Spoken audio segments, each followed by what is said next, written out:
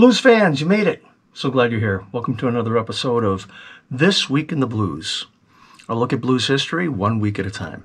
I'm your host, Jimbo Big Train Manson with Big Train and the Locomotives. So let's take a look at what happened this week in blues history. Blues legend Blind Lemon Jefferson was born on September 24th in 1893. He was one of the most popular blues singers in the 1920s and has been called the father of Texas blues. Jefferson was to Texas blues what Charlie Patton was to Mississippi blues.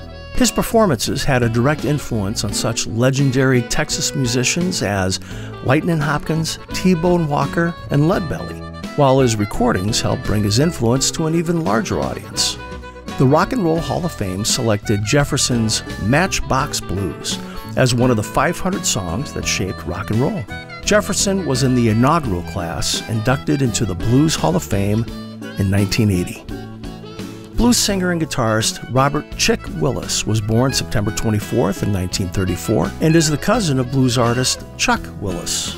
Chick made his vinyl debut in 1956 with the single You're Mine after winning a talent contest in Atlanta's Magnolia Ballroom. He's primarily remembered for his ribald, dozens bass track, Stoop Down Baby. He cut the original version in 1972, selling a ton of 45s for the jukebox market only because the tune's lyrics were too raunchy for airplay. He released a steady stream of albums in the 1980s and 1990s and continued to record into the 2000s.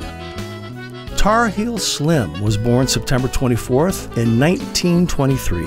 His real name is Alan Bunn, and he recorded in virtually every post war music genre imaginable.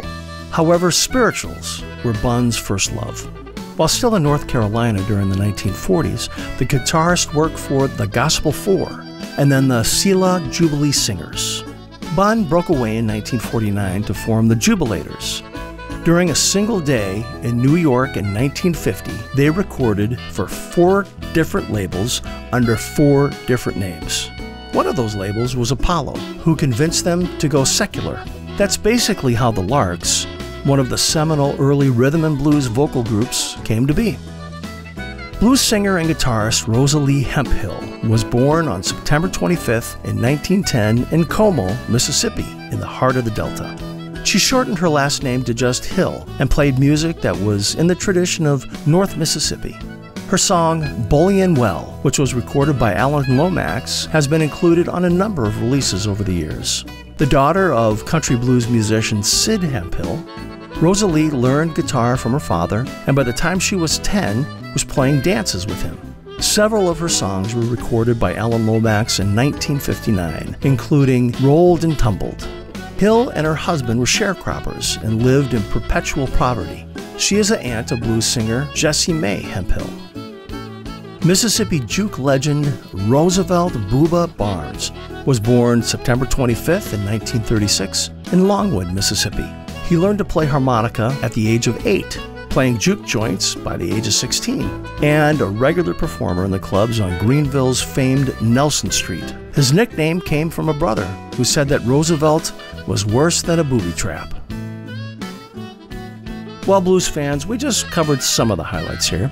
Now, if you want to know more about these artists or other things that happened this week in the blues, be sure to follow our social media pages or visit our website at bigtrainblues.com. We'll have a new episode next week. We'll see you then.